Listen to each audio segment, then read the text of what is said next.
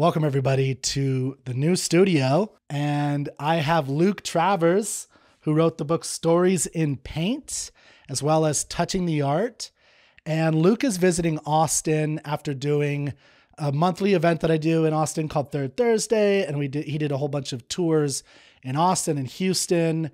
I actually got a van, got a whole bunch of friends together, and we drove up to Houston. And I wanted to start, and we're going to talk about art, we're going to talk about education, we're talking about history, love, literature. I don't know, I'm just throwing in stuff in there. we'll talk about mechanics and how why do airplanes have holes in them and things like that. Oh, okay, good. I just I'm learned this from Elon Musk. Yeah.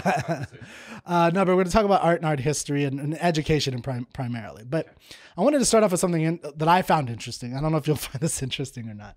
But on the way back from Houston with my busload of friends that we brought up from Austin, we were talking about a whole bunch of things. And one of the things that we discussed was why was the fandoms of Star Wars and Lord of the Rings. And I have my theory about this, but I've noticed that as these remakes are happening, as you know, these types of things are happening, there's a kind of virulent anger and almost violence on the Star Wars fandom people. Not everybody. I mean, most people are chill about it, but there's there seems to be a real like I'm gonna kill that guy for messing up this character this you know lore, and they got it so wrong. It's so horrible. Now, Lord of the Rings had the same type of thing where there was a there was a kind of there were these prequels. People loved the Lord of the Rings. I know people who've watched them every year. The extended on Christmas. I did this with a f- couple friends this last year, um, and they love Lord of the Rings. There's a lot of love for those first three movies, and then the prequels, not so much, right? Uh, the Hobbit movies. The Hobbit movies, thank you. And yet, with the Lord of the Rings fandom, I don't notice or see or hear about the virulence, the violence, the I'm going to kill you. It's more like, even in that van, disparity was very interesting. So we had, we were talking about Star Wars, people got passionate about it, with what was stupid. They argued about lightsabers and stuff. And, the, you know, why do they have midichlorians? Like, oh, it's freaking Matt. What do you, want, you know?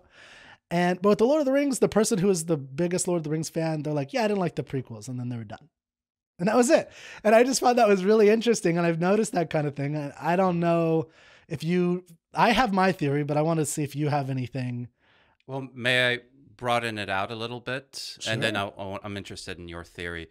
So when I hear this, this resonates because I think art in general arouses a lot of division, a lot of passion, and oftentimes this comes especially when there's an interpretation of a source text that you already have a connection with. I'm thinking of the Game of Thrones and how everybody kind of loved it at first. It adhered to the books. The, the book fans enjoyed it. And then when it got towards the end of the series, it caused a lot of division because it seemed to depart a little bit from the story or the, the story wasn't as well paced and nobody really liked it but the book fans also especially didn't like it yeah, yeah, you're right. I, but I hear what you're saying. yeah, so I, I, it's fascinating to to think that there's there are some subcultures of fans that aren't as upset by interpretations of the source text that they love, like the Lord of the Rings fans. But I think in general, when you bond with a work of literature and it's adapted, whether in a painting or in a in a movie or a TV show, you have your vision of it and you're going to be more critical of what it is that this uh, director or or painter is going to create. Mhm.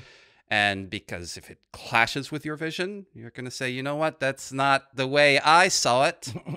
uh, and I think a lot of Star Wars fans were expecting the prequels to be kind of. I remember I saw the prequel 1996, was it? Mhm. I went to the movie theaters really excited to see it. And all I remember was this silly kid who did not know the controls of his ship and was flying through. It was like, oh, what does this button do? And he blows up something and he saves the day by being like the force, I guess, is going through him. And then he's doing midichlorians. pod racing. And it, for me, it felt really juvenile, hmm which was a big difference. 1996. I was Was it nine, I was 19, 20 years old. okay? Yeah. Okay. So it felt to me juvenile. While Star Wars, which I didn't see till I was like 12, 13 because I wasn't in the country, it was aspirational. Here's this young hero who's breaking away from his parents to go off and do something grand. That I was primed for that. But then the story shifted into this children's story. Hmm. And that wasn't for me. So that's a case where there wasn't a source story that I had bonded with, like the Lord of the Rings. It was just this, I was hoping for a similar kind of experience as I had Mhm. before, Mhm. and I was not getting it with the prequels. And maybe there are a lot of, there's a variety of reasons for that. For me, I, like all these new Star Wars TV shows, uh, Ahsoka, uh, Obi Wan Kenobi, Yeah. uh, and, and Andor. uh, Andor's an exception. Yeah. Andor's I the, the a exception for me. Andor. But all these others are based on a lot on these cartoons that were done, the Clone Wars cartoons Mhm. that are serving a children audience, Yeah. and they're not for me.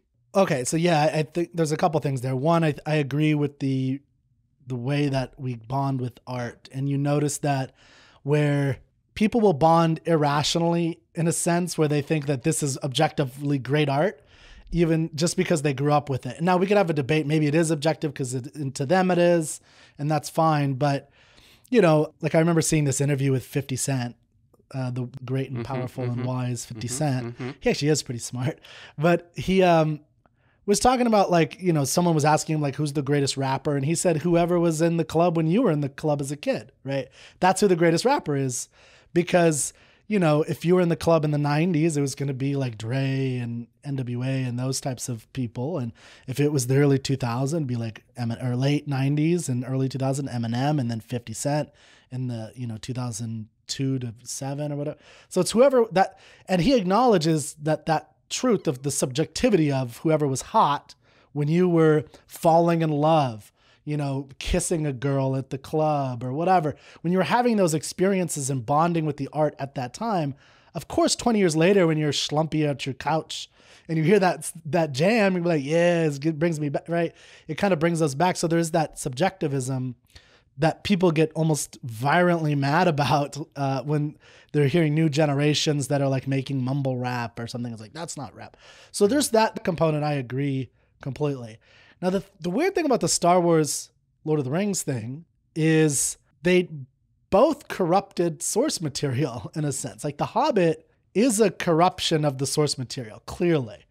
Like you know they have uh, Legolas in it, and he's not in The Hobbit right so they, they just so they have all these kinds of things that are clearly that so here is my quick answer to this and by the way the whole reason i'm setting this up is just to kind of talk about this connection with art but also this we had such great art experiences and so we were at your tour in houston and we want to have those and i think you're right people definitely have those experiences with movies star wars in particular for whatever reason has that experience for a lot of people and but the thing that I think is different is that this where what the source material is. So Star Wars sto- source material is a movie. hmm It's a cinema. Mhm. Lord of the Rings is literature. Okay. It's real literature. So there's a real base. And I I think there's a different mentality when someone comes from that base. And that there because when you read Lord of the Rings, which I was not that great a fan of it, but it's it's pretty serious, deep literature in a sense. Like it's difficult. There's complexities to the language. The way he's describing things is very, you know, it's a it trains the mind in a certain way. Like it stretches people who read it. And so I think that type of person who loves literature and art, who loves Lord of the, Lord of the Rings from literature, is less likely by their temperament to get that kind of virulence Okay. versus I think someone who's from the medium of movies where it's more pure emotion and more pure emotion coming at you and you're a little bit more passive than the kind of active integration. So to me there's a more confidence you get when you integrate and you interpret an art form yourself all on your own just blank scrawls on a page. You have to see what this character looks like in your you, you'll have a connection to it but i think you're more confident in that connection because you did the work versus star wars does it all for you. It's got the music it tells you who to love who to hate who to move what they look like. So it could still be great and it's a wonderful experience. I'm not denigrating the experience, but it's fundamentally different, is my view. So that's my argument. Okay. So book readers are smarter, Yes. more confident. More confident. Movie watchers are dumber and let things sweep over them passively. Well, I was trying to say that like a little bit implicit, but thank you for pointing it out. But I, Um, I do. I don't think that movie goes. I love movies. I was a film major, to be clear. oh, you were. Yeah. So I love movies. That's not my actual point. But I do think like if you have that as your base, that that's, you know, that I think that's a cause for this kind Okay. of violence versus the equanimity that comes from the training that literary art can give you. So I'm an advocate of both. Do both. Like enjoy movies. So That's my argument. a couple of thoughts come to that, a couple of questions, and a couple of flashbacks for me. I have, I teach literature, and I have a lot of students who read the novels with me and then go watch the movies afterwards. Mhm. And they have strong feelings about the movies. And they say things like, no, that's not the way Anne of Green Gables looks like. Okay, her hair isn't red enough. So I think that there are definitely strong passions about what the sort what the adaptation looks like. The other thing is I'm wondering for the audience of Lord of the Rings, how many of them read, did read the books? I haven't read the books. I watched the movies. Hmm. I'm wondering if for most of the audience for Lord of the Rings, they Okay. are coming to it for the first time to the Yeah. movies in a similar way as with Star Wars. Okay. That's Well, my so- thought there. So uh, can I just add one real quick thing? I agree that that makes sense, but I think the the I don't think the people who saw only the Lord of the Rings, they probably were the ones who liked The Hobbit, who never read In the eighth books. grade? Yeah, like if so, those people like some people like The Hobbit. Maybe, they don't admit it, but some people liked it. Right? It was it made money, or uh, it, you know I don't think it flopped completely. So it's it. Some people liked. It. I think it was the people who probably didn't read it as much, and I think the people who read it we're like, this is so far askew. What's the point? My thing is like the virulence. We're like Jar Jar Binks, the char- the actor, almost killed himself. It was that virulently hatred hatred toward him. That's a like what kind of what brings out that attitude in people where it's. I'm not arguing that Lord of the Rings fans disliked or liked The Hobbit, and they didn't have passionate feelings about it. I think people do have passionate feelings. It's more how it's manifested. And for there's there is a fundamental difference in my observation between people who see the source material just or between the Star Wars mentality of fandom versus the Lord of the Rings fandom, taking out the people who saw Lord of the Rings and didn't read the books. Well, to bring this to education, if my students have that much fiery passion for an adaptation of a novel that they've read with me, mm-hmm. I'm happy. I'm happy. Not if they try to get the guy to kill himself and say he should die, and that all the, that's Of course not. that's what I'm saying. Like I agree with the passion. Yeah. I don't agree with how it manifested. That's for me as a fringe. Okay. All right. So that that's just to me an interesting. I think it's interesting, and we had that. So there's one thing that you said that really intrigued me, okay. and that's how, well, you didn't say it. 50 Cent said it. What is it that who was with, in the club when you were in the club is going to yeah. stick with Stick you? with you. As a- and this idea of the art of your generation is what is going to resonate with you the rest of your life. This idea that there is a point in life in your development and your growth as a human being th- where art is especially going to be meaningful yeah. because it's going to ha- ex- uh, reveal and discuss situations and themes that are new to you. And now that I'm in my 40s, I don't have the same resonance with Star Wars because I'm not in the same point of my life as Luke Skywalker was. Hmm. And this is why I love to teach literature because I am getting to share these classics, these great works of literature at the prime art education moment in life for these kids so that they're at a certain point in life where it's going to really mean something to them. hmm Now, you do a lot of literature yourself. But I, yeah, and- I, so I don't do them with students as much. I did teach fifth and eighth grade for a short period. And I agree. I think that I was able to have an impact where some of those kids had One in particular, the um, John Carter of Mars, Pr- Princess of Mars series.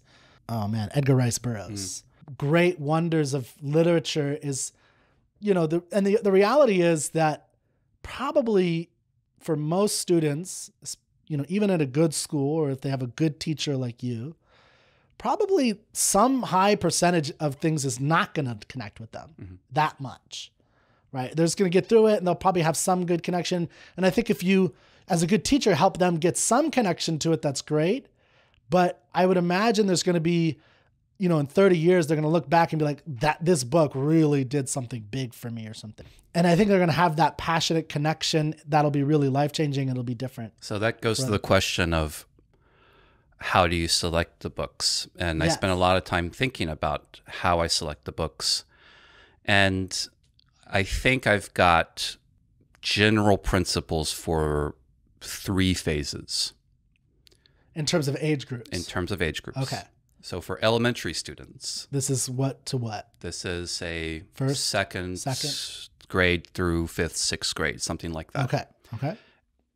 And the novels that I generally go to are ones with child protagonists Yeah. because I think I view the kind of overarching theme of these stories is maturation.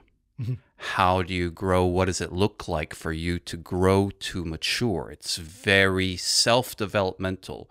A lot of these stories are about, okay, this is one phase of my life, and now I've got to move to another phase of my life, and what does that look like? One quick example, Anne of Green Gables, that the elementary students are reading right now with uh, Mrs. Miner at uh, at my little company, Literature at Our House, and that's a story about a young child with an overactive imagination, fiery spirited, and she's got to learn a little bit of how to control that or how that matches with the world. hmm And uh, almost every story that I come across with a child protagonist meant for children has that kind of underlying what does it look like for you to go on to the next age from 9 to 10, 10 to 11, 11 to 12? What does it look like for you to grow? hmm Children are obsessed with growth. Okay, what do I get to do now that I'm 11 years old? Mm. Yeah. Like expanding their freedom and their circle of freedom and liberty, essentially. Mhm. Yeah. So yeah, that's, interesting. Do you guys read Hatchet? And Absolutely. Yeah. And Hatchet is a, another one. That's a great example that's a good example of that. of yeah. maturation. Yeah. Okay, what does it look like for you to develop, what is it would say, not self control, not self confidence necessarily. That's a story about a kid who's in an airplane accident and survives, and he has to figure out how to survive in the jungle, essentially, Of with just a hatchet. Yeah. Right. So independence what's the in a way. independence? Okay, that's that's the one. That's the best. there- yeah. there's another word that he uses that I Self reliance, maybe. Self reliance is really good too. Yeah. Yeah. Because he's been just living his life as a child Yeah. and now he's got to take responsibility. Oh, I need to eat. Mhm. Or nobody's going to come and shoo the mosquitoes away. Yeah. And he has to find it within himself to take action. So Yeah. that's elementary level. Yeah, those that makes sense. So you're you're trying to select artworks, literary artworks in this case, that speaks to that student, Mhm. and that's your primary speaks speaks to that age group and what they're actually experiencing. And is that your primary selective tool? Is what speaks to them? so, like, w- yeah. why wouldn't you choose Harry Potter or Percy Jackson? That's a good question. right. So I love Harry Potter, and a lot of students already already read it. They already read Oh, Harry Potter, and they yeah. already read Percy Jackson. So one of the criteria is let's look for works of literature that a student might not immediately pull off of the bookshelf on their Mm. own. So the goal is not to the goal is not to encourage primarily to encourage reading or even to encourage reading fiction. Hmm. Those are great tangential goals. The primary goal is to fall in love with literature, which means to fall in love with very well told stories that are very insightful, that might be just a little bit beyond what you would normally reach to to easily read. where mm-hmm. some guidance, whether it's providing a little bit of historical background or a little bit, the language might be a little bit difficult, so you might read it with your parents or whatever it is. Yeah. It's just a little bit out of your reach. Okay. And maybe something that's the language is more difficult, like Anne of Green Gables. The language Secret is Garden. tough. Secret Garden, the language is tough. That's tough because they have that dialect and Of course. yeah, yeah. So that that's part of what you're looking for is something that stretches the child in this case, Yeah. second to sixth graders. That they're these are kids who already know how to read, of course. They're maybe reading my age. I was reading a lot of Hardy Boys, Goosebumps, yeah. which is really simple. It's like designed to be sold. And it's fun to Oh, read. I loved it. Yeah. I've- I read every single Yeah. one of all of them. And they're basically the the goosebumps are all basically the same story with the same theme. Okay, what, what kind of scares Whoa. you? All right. I won't I won't deny that. I won't deny Um, that. but yeah, like I haven't read there's definitely I'm sh- I haven't investigated as an adult. So as a kid, you know, it's puppets versus vampires. That's different. Right? So it's like that's way but maybe you're I'm sure you're right that it's basically a monster tale told over and over again with slight variations. Sure. Anyway, I'm not going to argue about R.L. Stine and get all furious. But I, I will say agree with but I, that makes a lot of sense to me in terms of the the value of what literature the, like selecting literature at that age group in particular. Now I have so I, I wanted to talk about role of art in general, but we let's since we're on literature, let's stick here for a little bit because so one of the things I've been thinking about as someone who's just studied literature and a lot and a, studied a little bit of education and pedagogy and the philosophy of education. I have some experience in teaching, but I've never run a school. There's a lot of real life problems you have to deal with.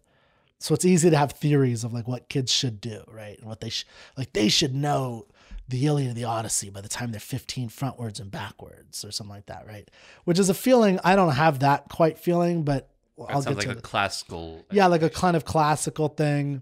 So I, I have like a little bit of a different take, uh, although I think both are possible in a sense. I believe. So I part of what I think needs to happen, even in, starting in the early years, is you have to think about like from what is general education as a a specialized moment in our lives and a specialized type of training, mm-hmm. right? So there's gymnast gymnastics type training. We're trying to train their bodies a little bit. You might do musical trainings to train some of their spiritual things, what socializing at the playground. But in the classroom, from the ages of, you know, four, five, six years old till today, now 18 or really 22 or 23, there's a kind of generalized, this is something that a human, that we believe a human should have, whatever field that they go into, to be a better human, to have the most ch- best chance of living a great life in our complex society that we live in. And this is not, I don't believe in having this be any technical training. I think kids should do that on the side. If you see an aptitude in, you know, fixing things, then put them in something else. But I do think there's a value to have like some kind of generalized education. And I think literature is core to that literature, math, science, history, core things. So I guess my question is when you're thinking about that overall goal, right? As, as like, what should they know? First off, do you think about that? Is like, is that at all part of what you're selecting for? So when you're saying is that at all part of what I'm, I'm selecting for, do you mean the an overall program of literature that is asking the question of what is it valuable for a human being to learn? Yes, like what should uh, this kid, let's say you know you're going to have a kid from the age of, you know, 6 till 16 when he's done or 18. What should that kid experience literature wise that you think is mandatory? With I'll give caveats to flexibility based on the interests of the child, but that you think is you do you have any strong inclinations of like they need to have or they should optimally have these types of literary experiences? So, literary experiences is a key term in what you're saying here. And you can equate that with particular books, but I don't necessarily equate that with particular books. I think there's a wide range of books. I do think literature and art, and when we talk about the visual arts, I can share a little bit more of how I think it fits into. I think I have a better sense of how that, that fits into a oh, broader okay. program Cool. but literature yeah i can speak a little bit on that but Literary experiences for me are not primarily about the particular books you read. There are particular books that I really like to teach that over the years have really resonated with my students. And we talk I talked a little bit about what I the kind of book I select for elementary, mm-hmm. but I also also have like a category for like the junior high years and then the high school years. And for when I think of literary experiences, I think primarily of setting the student up for their own private reading experience at a certain point in a story.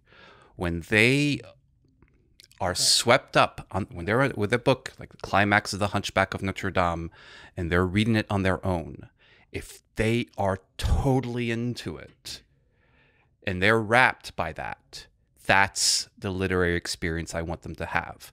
Not necessarily with a particular book, but with the sense I understand everything that's going on here. I understand the stakes. I understand how hmm. it connects to me. I understand all of it, and it's coming through in this powerful emotional experience as I'm seeing Quasimodo try to decide what to do and looking for Esmeralda and not knowing that she's right over there. All that stuff. But coming to building up not to a test in the classroom, but to their own personal reading experience with the end of a novel or the climax of a novel, something like that. Yeah, so you're you're heavily focused on the personal experience of the students, and you've done this. Yes and no, Okay, where's because I wanted to no? build up to that. where's the no? The no. I'm a guide. Okay, I'm a guide. There's a lot that needs to be set up with stories like this. I'll give you one example. Hunchback of Notre, Notre Let me give a different example Okay. because that's even that's pretty approachable for a ju- that's a, Yeah. an example of a junior high. That's a strong book for junior high. It's That's it's pretty strong for junior. high. Yeah, yeah. but it's one the the theme is really re- relatable because it's all about variations in romantic love, and that's one of the standards. I'll just explain very quickly the junior high and high yeah, school to set please, the context. Please. Junior high, I'm looking for adult classics Okay. with themes and story situations that would resonate to a 13, 14 year old. Okay. That would resonate. the theme is now so it's more abstract in a sense. it's a little bit more abstract. The themes often have to do with their kind of broad categories of themes, like justice, Yeah. To Kill a Mockingbird, 12 Angry Men, romantic love, personal identity. What's that one? Pygmalion, or uh, A Doll's House. And the Doll's House was the one I wanted to bring up as an example that That's a junior high? junior high, a hmm. seventh grade boy is not going to pick up that novel or that play. Play, yeah. It's not going to pick up that play. Yeah. It's Ibsen. Yeah. It's a play about a housewife who thinks she's happy, but so, starts to realize that she isn't happy. Yeah. Torvald, right? That's the, uh, Yeah, that's right. Yeah. It's That's been a right. while since I've read it. Okay. But that is a story that when we come to the end of it, the climax, I'm looking for those junior high boys, as well as the girls, to be riveted because it matters to them. And the way we connect it to ourselves there, the theme essentially has to do with who do you listen to in your life? Are you going to simply accept what your parents and society tells you is right and wrong? Or are you going to question? And that, for a 13 year old, Okay, I see. is gold. That's gold.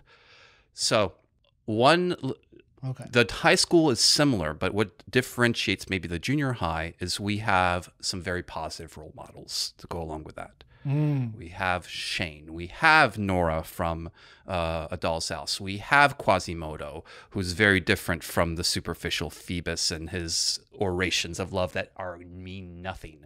It's sincere love versus superficial. We have Atticus Finch. Mhm. So they are these complex adult stories, but the themes are relatable to 13, 14 year olds, and the protagonists are admirable. Okay, so you're focusing on the admirable That's the junior high differentiator. Yeah. Now that doesn't mean that the stories are going to turn out well. One thing I tell my junior high students is I I want you to suffer. At least I want you to I want to introduce you to tragedy. Yeah. We will be introduced to tragedy, but we will see characters that we root for. Okay. In the high school, adult classics, questions, thematic questions that deal with things that they're going through in their life, but maybe the answers that the author provides are not ones that you want to emulate. Hmm.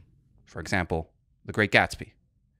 I start off before we read the novel, I ask the question something like, Is it worth pursuing your dreams? And The Great Gatsby has a very definite answer to that. Mm-hmm. And it's not a positive answer. Yeah. Dreams are by nature superficial Hmm. and shallow.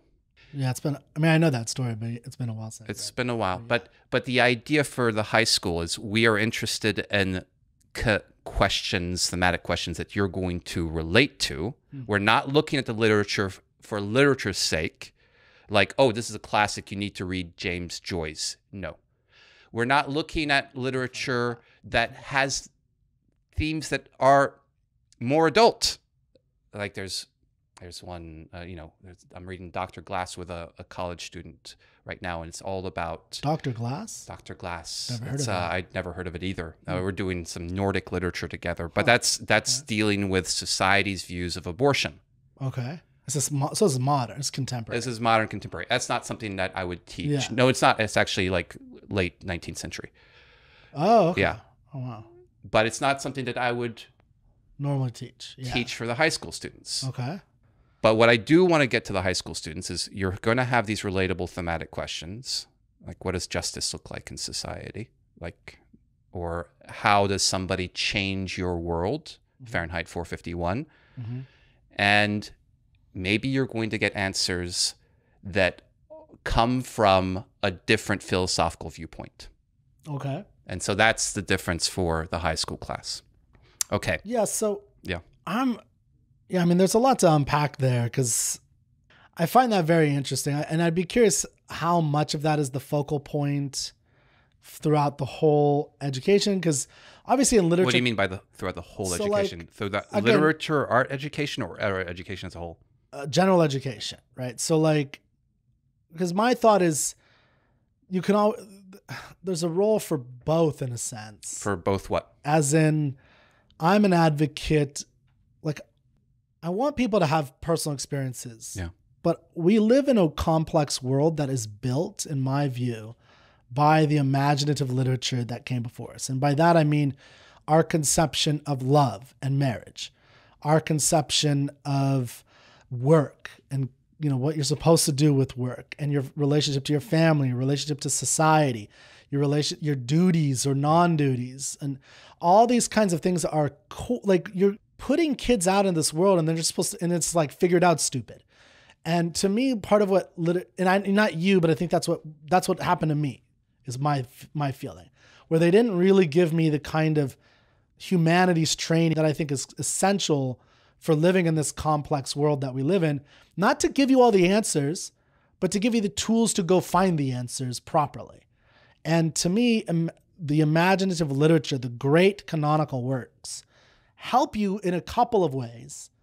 I think they do a lot of what you say, and but they also they don't always do that though. Like I always tell people, like you're go- there's going to be parts of Dante you're not going to like. That's just going to be a little boring. You're not going to connect with this character. And yet, Dante is one of the most pivotal books in the history of the Western canon. And it's set up the Enlightenment and the, everything that happened afterwards. And so, like, it's canonical. And it's like we live in a Dantean, post Dantean world in a sense. And so, if you don't read that, you're missing out not just on like, you know, little references here and there, but on substructures of our entire society and world and psyche, I think. Uh, I think literature of the 11th, 12th century troubadours and, you know, these guys that they're writing stuff that our conception of love and marriage and sex come there, from there. And it was very different. So, my point is that I don't think they need to read everything, but they, for me, there needs to be an exposure to some of these what I would call influent greatest most influential works of all time that have built the cultural world that we live in in the West. uh, If you're living in the West, or if you're curious about the West, and now that's another debate: is should you do West, East, all of it? I don't know. That's hard questions. I don't have great answers to. But that to me is a piece of the puzzle I'm not seeing enough of in you know the kind of education individuals that I know about who are I think are amazing. That's what you do. That's better than anything else that's out there in my view. It's it's you know literature 4.0 versus literature 1.0. I'm just thinking that there's a little bit extra of a piece. So what you're describing is there are core texts to Western civilization, and that kind of shape how humanity's developed. And you can go back to the Odyssey. You can even go back to Gilgamesh. Gilgamesh, the Epic of Gilgamesh. You can go back and then you can go through and take a look, maybe uh, Augustine's Confessions or or Dante, and there are these texts, Milton's Paradise Lost, that might be drier, that might not be as much fun to read, but they were so influential in the development of Western civilization. Understanding those will give you a better sense of where we are today as humanity. Yes. So, And I, again, not everything. Just like a Yeah. core set. I would, for me, I would say that sounds like a great college course. And I, also for me, I think I, I would, when I think of the visual arts, I think of art appreciation and then I think of art history. And I love art history. And art history for me is okay, let's study Giotto di Bondone, the core Renaissance painter who influenced everybody from Michelangelo to to you could say video game design in the 21st century. Okay. I'll have to look this guy up. But he's a historical figure in a similar way that Dante might be. His paintings, treating them as art, are black and white movies. They're not as thrilling and exciting to immerse ourselves in.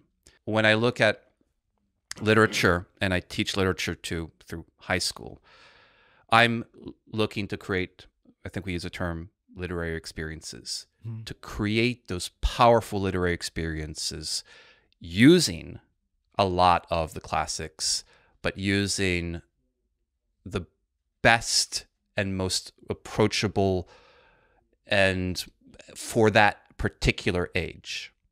Okay. And then afterwards, for those students, like I told you about that student I'm doing Nordic literature with, and I've done other, uh, gotten into Epic of Gilgamesh and things like that as well to look at the texts that led to the works of literature that they're in love with. But I'm focused especially on falling in love with the works of literature so that later on, if you do care about it, you'll want to know what was the predecessor that led to it, and you'll want to know the art history of it.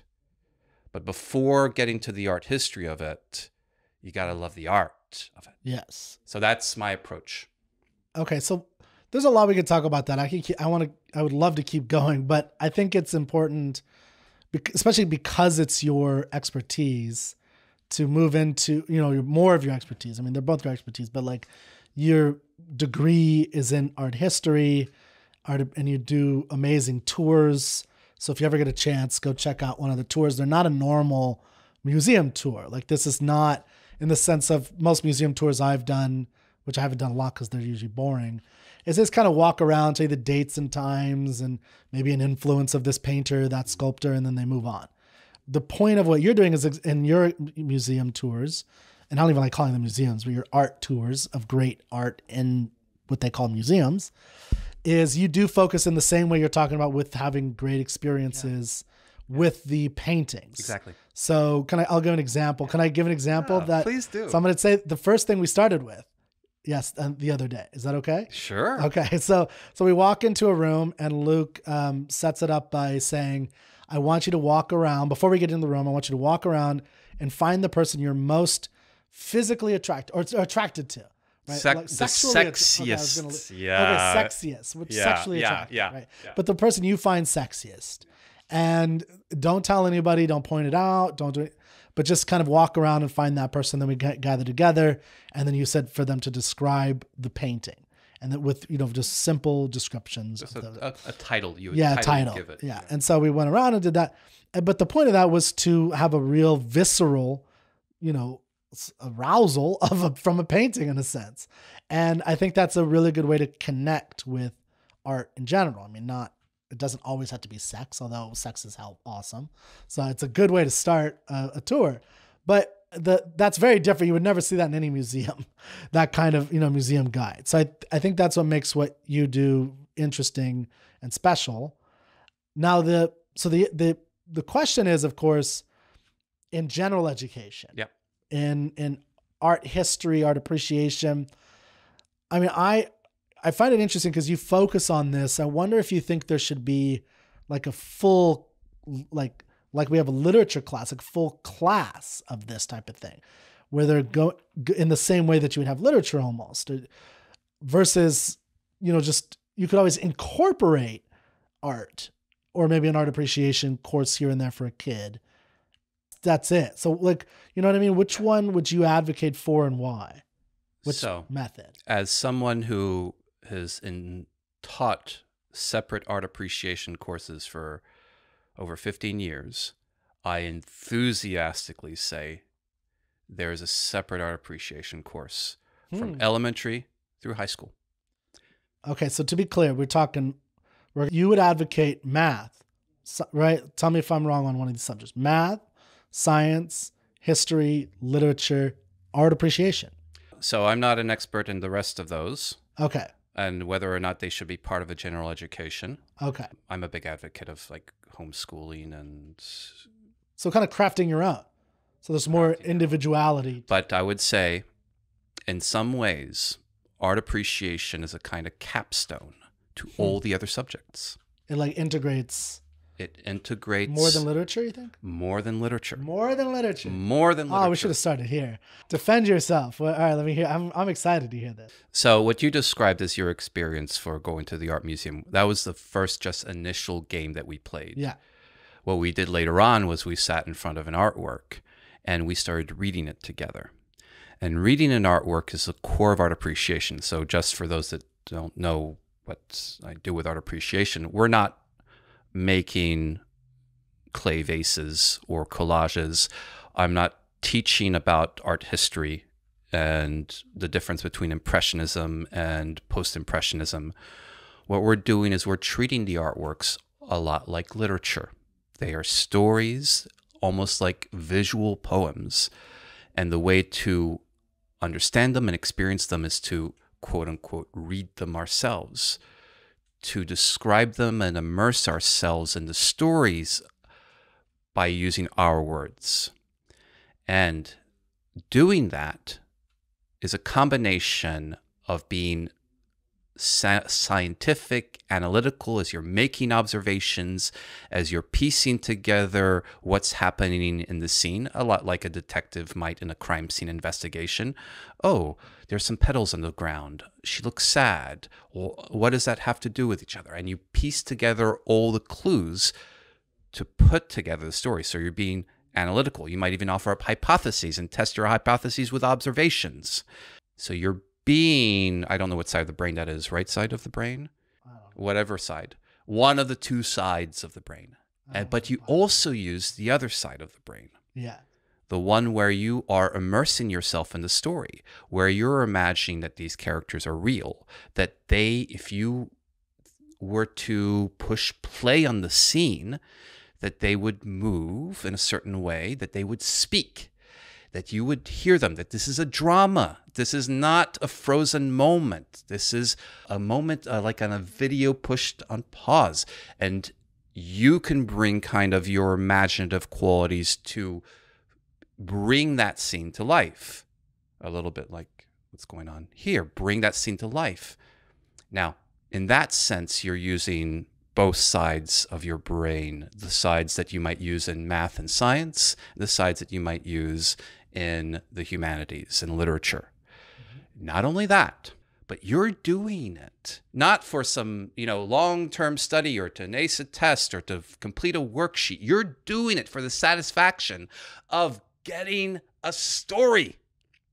You're going to come away from each art appreciation class feeling like, wow, we just lived this moment with this character. To top it all off, introspection. It is not enough to simply just read the story and analyze and imagine, but then to identify the kind of moment and to personally connect to that moment. And we do that constantly from first grade on, where we look at a character and we empathize with them and we personally connect and ask ourselves, when have we been in a moment like this? And then we see that character as a reflection of who we are personal growth and development, introspection, extrospection, all of it. And then throw in maybe you got some history in there, you got some creative writing in there. But I that's why I see art appreciation is a capstone For the humanities. for all of it. But you didn't talk anything about science Yes, I did. What I'm. Observation, Uh, analysis, hypotheses, all that is using that right side of your brain. I train teachers to teach art appreciation, and none of them were in the humanities. I co taught a second grade art appreciation class with a science teacher, Mm-hmm. and he told me this is better than a science class. Because what I've got to do is I've got to have them make observations and put together something here, and it's over by the end of the class. He contrasted that to like studying the phases of the moon, where over the course of a month they make observations, and at the end of it they they draw conclusions, but it's not an encapsulated scientific game. would definitely. I don't. I guess I don't see what literature and poetry would not do that. That can do that. Literature and poetry can't do. Uh, I can answer that. Okay. the visual arts are visual. You start off with the concretes. You start off like you're going on a nature hike. You start off like you're staring at the stars. You start off like you're looking at a person. And you've got to provide the concepts. You've got to build up from that. In literature, it's the reverse. You're given the concepts and you've got to But hold on. imagine the scene. That's how you concretize. yeah. You picture the character, you picture the actions, you picture the setting. But where do the concepts come from when you look at a painting? Where do the words that you use come from? You have to study literature to increase your ability to make those kinds of. you can study literature and increase your ability, but you don't. Most, this class is not for literature students. When I teach art appreciation, it's not for literature students. What I'm trying to get is more. What's more foundational? oh, probably lit- literature. Oh, okay. Okay. Okay. that what I see, there's a difference in reading a poem Oh, for sure. and, Yeah, and I there's something more scientific about You haven't gotten me there. Again, this is coming from someone who loves what you do and loves the art stuff. So I'm not trying to. I'm. Ju- I do think there's like, I don't know. There's there's something. One, you know, the science example you gave, to me sounds like it's maybe because he just didn't have great training in general. He's a good teacher. Uh, because like I don't know if you've seen. I don't know if you've seen like mystery science, and I think what they do is very similar. To art appreciation. To, exactly. Ex- no, but not art point. appreciation. It's That's the, that's not the foundational thing. The foundational thing is how you think. So, like you gave a talk at Third Thursday on art and epistemology, and you know how bad epistemology leads to bad discussions and bad integrations, and like you can use art appreciation as one way to train the mind. I think that, I guess my point is that everything you do in general education should be geared toward training the mind. So science should be this is one way to extrospect about the world, to make observations about how the functioning of the world around you, outside of you does. Art and primarily, in my view, is how the inside of you works. It's mostly about that. Now you can also use the extrospection element of look, she's holding flowers. So what kind of flowers are those? What is it? Is there meaning to those flowers or what, you know, things of that nature. But I don't think that's the primary for painting. I, I, that's where I would disagree. you think like knowing I think you've got to start. You're, you know, you've been on the tours where we don't start with the story or the background story. We don't start with the sorry, the concrete. we start with what we're seeing. What you see, And we yeah. build up from that. In a similar way that the Mystery Science Theater, I think I remember something about Just mystery science. Mystery Science, Mystery Science Theater. Yeah. That'd be fun too. well, he did no, but, but they start off with like an observation. Let's look at this tortoise shell and look Yeah. at it carefully, and then make some observations and come up with, oh wow, the shell is kind of connected to the body of the tortoise. And the same way, you look at an artwork to start with, you don't know what's happening, and you've got to figure out what's going on, like you're stepping into nature and observing it. Um, Okay. So the reason I think of it as a capstone, it's not a replacement for science, of course, but it No, I know. I know you're not saying integrates Yeah. it integrates literary, observational into one little like condensed package. whenever I teach or do literature, I always bring in paintings. So I agree. So I'm not trying to disagree with you in a, in that sense. I'm just trying to get at what is the core and you know how do you properly use this. I mean, to me, I think there's a role. I mean, like my view would be that you would have art appreciation or art integrated throughout all of literature. That the literature course would be the foundational Yeah. and you would constantly put in as so like i think as a you know literature teacher you should be well trained in all the humanities like So if I, you want to, I can share a little bit about Yeah. how. please So I do integrate art with literature, but never as well. No, not never. There are two kinds of integrations. There's one where the the art helps in some way to appreciate the literature, and that can come in some ways of it illustrates maybe a scene or it's some historical background like here's Julius Caesar and and now let's read the play or something like that yeah but the the main way that I love to integrate is when we do not have any notion of any connection. And this is what happens. So I'll give you a quick example. Mhm. Uh, in art appreciation class in junior high early this year, we had a painting of Andromache after she has been kicked out of Troy, and Troy, her country, has been burned down, and she's a captive. And we see her kind of a city scene, a slave, waiting this is for hector's water. wife Hector's wife. Hector's dead. Her son is dead. achilles kills hector And she is by herself, solemn and lonely and black in this new place, while this whole other, you know, village is kind of looking at her a little bit like, who's this stranger? Mhm. And we immerse ourselves in this story and personally connect to it and ask the question, when have you felt like an outsider? And then we connect it. I ask the question, what if Atticus Finch saw this painting? What would he think of it? And Atticus Finch from To Kill a Mockingbird is someone who is constantly thinking about how to put yourself in somebody else's shoes, how to empathize with them, how to connect with them, and not to dismiss them based on your prejudice. And so I have the students write an assignment where Atticus takes his two kids to the art museum and they see this painting and to write out the dialogue that they would have about this painting. Mm-hmm. From atticus perspective. And from Atticus, the kids, yeah. So the focus there, I'm treating the artwork independently, mm-hmm. And the connection to literature is the same kind of connection that we'd make to personal life. It is secondary to the artwork. So the artwork is primary. It's not the handmaiden of the the literature class, okay but it connects thematically. yeah i mean so it seems like we're mostly on the same page though i agree because i guess i would just put more of an emphasis and this is the great thing about having you know it's an ed when you have a school system not i don't believe it should be public that you could have diff- different people teachers with different focuses in a sense Yeah, and that's why I'm a big fan of like all kinds of freedom in education, Yeah. so that you can there can be all kinds of experiments Yeah. with the different kinds of courses, and parents could see what works best for their kids.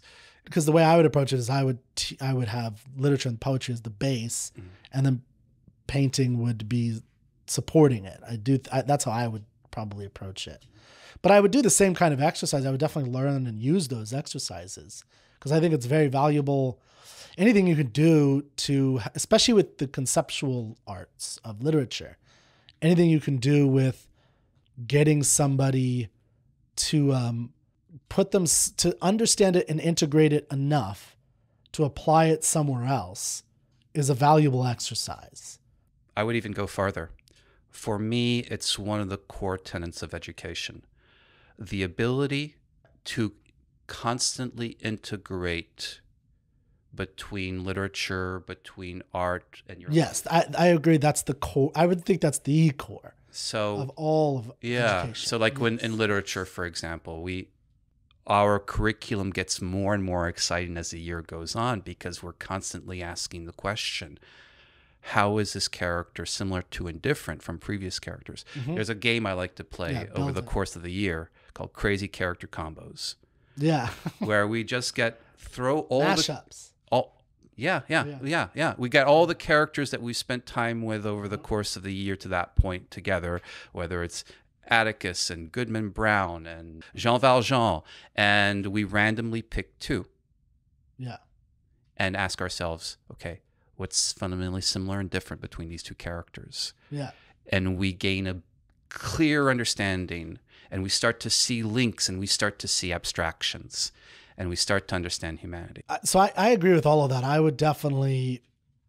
I, I I'm saddened to live in a world where only STEM is the focal point, and you know, there's that Robin Williams quote from Dead Si- Poet Society where I don't remember the quote verbatim, but he says, Is like- it the one about poetry is to woo women? Yeah, that's definitely the one. Yes, because that does work. So I, I would say it's so the quote is something like, you know, en- s- engineering, lawyers, doctors. These are noble professions, and we should admire them. And you know, this is uh, something about helping us live longer.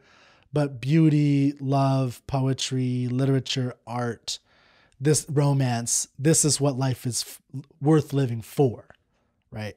And I did not get that correct exactly. But Yeah, the, yeah. the idea of, you know, doctor extend your life and that's worthwhile and great, but what what are you extending it for? Or the the cheap way of, you know, life.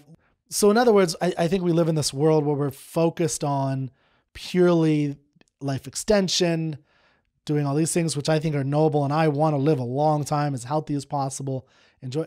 But we're missing all these other elements, which is why you're alive in the first place, other than just mere breathing, mere existence. And I think art, literature, romance, love, passion, these are the things that give you that, or that at least fill in. You know, if you, th- I think of it as like almost the engineering and the tech that gives you the outline of a life, but the you fill it in with beauty and passion and love and romance and adventure and things like that. That to me is why you stay alive. I, I don't want to stay alive on a tube where I could see TV and that's like I want to be able to experience life and to see more beauty and be able to expand my abilities to see more beauty. That's why I try to read really hard literature that's way above my pay grade, I say, like above my abilities. Just like you do with those kids. Like I just read Moby Dick and I still don't know what the hell that's really about. Like, and I'm doing it. I'm doing two groups of that, and I've read it several times now, and I've taken lectures, and I have something, and I'm grappling with this mysterious tragedy thing, and it's odd. Reading Shakespeare, reading Homer, reading Dante, reading Milton, like these are not like the books that I pick up as popcorn and enjoy and love Harry Potter, love adventure stories and thrillers. I love those. They're great. But these are things that like expand my desire to be alive. And it's like, wow, there's still more in existence to experience. And it keeps expanding. And it's like a, you know, it's an ever expanding bound of human thought, as uh, Tennyson put it. Oh, the utmost bound of human thought. It's like, and it's the utmost, and it's like always going to the end where the, as far as you travel, knowledge travels with you and it goes farther. And there's just, so to me, I, I'm saddened in a sense to live in that, in a world where these things that I think are amazing and the tech and the, you know, STEM stuff is so great. And I'm so happy and admiring of these people. But I feel like we're missing what you're talking about in our education system and in our culture. May I leave you with this? So I would like to talk. What's the Robin Williams character's name? I can't remember. Is it Reardon? Is it? Maybe. I'll look it up as you're doing this. Don't judge me for doing this. I'm I would like to talk to him a little bit because I feel, on the one hand, I'm very sympathetic to that side that art fills in what's missing in the world. It makes life worth living. Oh, it's John Keating. Oh, that's it, John Keating. That was Of all, I don't think I don't know if they did that on purpose, but no, no. that's a Fountainhead character. not. That's not. Peter Keating. That's Peter Keating. yeah. No, I know, but Keating. Uh, Keating, yeah. But I, for me, that that's not enough. what is it? what Peter, what John Keating says that art f- makes life worth living. That you do the science, you do the engineering, you do all that stuff to survive, but you have all this to make it worth living, to make the years worth living. I, for me, I think that's not enough. Well, he didn't just say art. To be clear, No, no, no. That's not the, the focus. love, Beauty, love, art, everything like that, poetry, all that. I for me, you don't think? What do you think it is? this is something that I, I want to think more about. Okay. but my initial reaction, and I, there's one little story I'll maybe illustrate. My initial reaction is that's too much of a dichotomy. That I want to see more of an integration between. I mean, sure. your work and what that means, and love and beauty and poetry and art and all that. And I'll give you a little story that comes to mind is uh, I've got a student who who's a senior in high school right now, and he's taking my high school literature class, and he's doing some very high tech projects. I think they're doing some kind of reverse 3D printing where you take an object and it digitizes it and preserves that object. So you can take, I don't know, family heirloom and and have it preserved and then later on 3D printed. But he's he's working on a team to build something like that. And we were having a private tutorial session and I asked him a little bit about this thing that he's working on. And then to integrate it back to literature, the question popped in my mind to ask, all right, let's think about all the characters that we've encountered so far this year. Gatsby, Hester Prynne, some other characters from literature. Who's the main character from Fahrenheit 451? I don't remember his name. Oh, we could use Clarisse, who's the who's Guy Montag from Fahrenheit That's 451. fair. Okay, yeah. Yeah, Guy. or we could, we could throw in throw in the fireman Beatty. Let's look at these characters and imagine that they were there right beside you. What would they think of this reverse 3D printer? How would their premises, their understanding of the world, affect their view of this technology and your passion for this creation of this technology? And Clarisse would have a very different view than Gatsby would. Mm-hmm. And thinking about these characters in terms of these human ideas that live with you, that help shape your perspective on the world, that give you these different perspectives on the world in in your engineering work. Mhm. I think there's I think there's more for me than just simply it makes life worth living, and maybe But it you just proved my point, I think, because that makes the career worth doing. Maybe. Yeah, so it's but the I same think, uh, thing. For me, it's an So- integration. Yes, It's- and I agree with you on the not- integration. it's- Yeah, the way Don't John Keating is. it. Yeah. Do the inter- I 100% agree. And I that to me is my point is that we don't have the integration, we just have the STEM.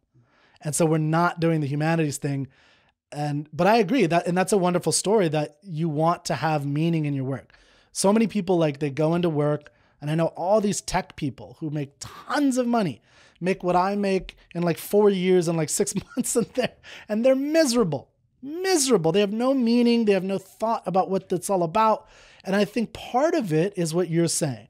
You know, read some Aero, read Arrowsmith by Sinclair Lewis and see the passion he has for his craft.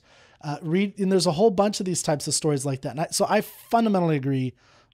But I will just add that even if you're a tech bro, that you this type of stuff isn't just about it's about making meaning in your work and in other areas of your life. Because one thing I've noticed in talking to tech people is not always, but often they they seem to be lacking in the, the relationships and the love and the romance. They're almost robotic a lot of times. And they don't need to be because I think they're at their core, they're some of the most passionate people possible. And that's what infuriates me about how we treat kids and an education system by doing the dichotomy of well, you know, if you read Iliad or if you read Les Miserables, you're not going to get, you know, a better uh, you know, ability to be a better engineer, right? You're not going to be able to, you know, logically dissect this thing to have a better widget. It's like, no, maybe not, but I think actually yes, because you'll probably be more creative. Uh, I mean, if you look at the best entrepreneurs, they're all actually pretty artistic and literary, like Elon Musk and Steve Jobs and Jeff Bezos. He started a bookstore. I mean, like these guys are actually very literate. They have read Shakespeare. I think um, I think I read somewhere that Steve Jobs really loved Moby Dick, which I was found interesting. But he also loved Shakespeare and other. So my point is that I, I agree. Integration, integration, integration. Uh, but we're not doing that. We denigrate or we see as like maybe it's a nice leisurely hobby when you're older and retired and have nothing else to do. That's literature, that's painting, that's art, that's love, that's beauty. Versus, you know, well, this this will get me the three hundred thousand dollar job right now, so I'm going to do just this, and then I'll you know maybe worry about that later. And I that that's why I just don't. Well, we're gonna have to continue this conversation another time because I feel like there are all kinds of. Oh yeah, there's so much to talk about. I, want, I would love to talk more about the canonical works, to which ones should yeah. should if any yeah. integrate, and all. Yeah. There's so much to do. Um, why don't you leave the people with some things you're working on, and make sure you talk into the mic because I want them to hear it loud and clear. And you know, touching the art, museum tours and literature at our house. Yeah, yeah. If, uh, if you want to find out more about the classes I teach, literature at our house.com. Go there. Uh, if you want to find out more about the art appreciation uh, for adult classes or the tours, sign up for my mailing list on touchingtheart.com. Kirk. And you do salons online. Oh, yeah, yeah salons, so all kinds of stuff. That's a good introduction, by the way. Because like then you get to experience it. So check out the salons. Where do you normally announce those? Uh, on my mailing list. So okay. go to touchingtheart.com. So everything's just touchingtheart.com. Just sign up and go from there. Thank you very much, Kirk. Cool. All right. Thank you.